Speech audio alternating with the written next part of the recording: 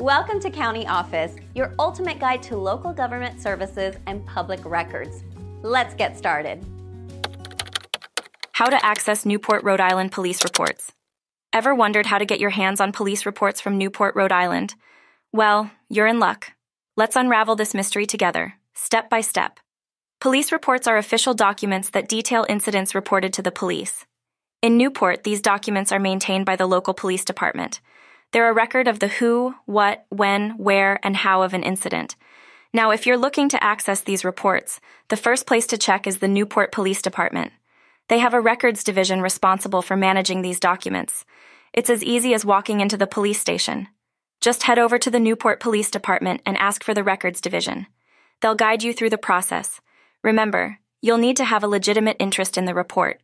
This could be because you're involved in the incident, or you're a legal representative. If you prefer the digital route, some reports may be accessible online. Check the Newport Police Department's official website for any available e services. Be prepared to provide some identification. You'll likely need to show a valid ID to prove your identity. There might be a small fee involved. This is to cover the cost of printing or administrative work. Lastly, not all reports may be available.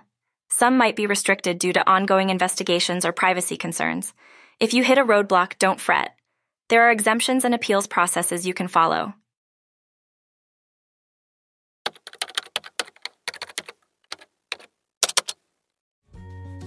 To learn more, check out these links, which you can click in the description below. And feel free to comment your questions. We're here to help. Thanks for tuning in to our video.